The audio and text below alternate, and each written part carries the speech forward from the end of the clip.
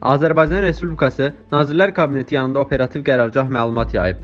Publikas xəbər verir ki, Azərbaycan Respublikasında koronavirus infeksiyasına 6 yeni yoluxma faktı aşkarlanıb. Qeyd olunan şəxslərdən bir nəfər Azərbaycan Respublikası vətəndaşı yüksək bədən hərarəti və nəfəs darlığı şikayətləri ilə xəstəxanaya müraciət edib. Eyni zamanda şəkərli diabet və ürəyin işemik xəstəliyi olan pasiyentdən Koronavirus üçün götürülən analiz nümunələri müsbət çıxıb. Həkimlərin səyinə baxmayaraq, xəstənin vəziyyətinin kəskinləşməsi səbəbindən onun həyatını xilas etmək mümkün olmayıb və pasiyent xəstəxanaya daxil olduğu gün vəfat edib. Xəstənin ailə üzvləri və ünsiyyətdə olduğu digər şəxslər müəyyən edilib və karantinə götürülüb.